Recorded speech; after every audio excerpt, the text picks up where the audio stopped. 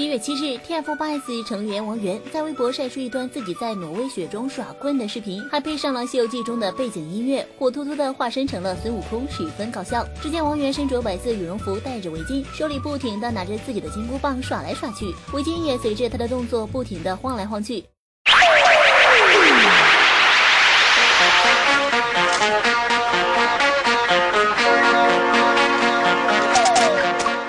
日前，王源作为北京市冰雪大使，前往挪威宣传北京2020冬奥会，并飞赴挪威拍摄个人原创歌曲《十七》的 MV。王源身穿羽绒服在户外拍摄，白雪皑皑间尽显清朗少年气。据悉，MV 预计将在二月春节后发布。王源挪威之行日程满满，工作室曝光几组高清拍摄图，网友纷纷感叹王源便是少年本人。冰雪之间，王源或闭目思考，或回眸微笑，白雪皑中仿佛在天地间畅游，尽展阳光本质，展现出满满的清朗少年气。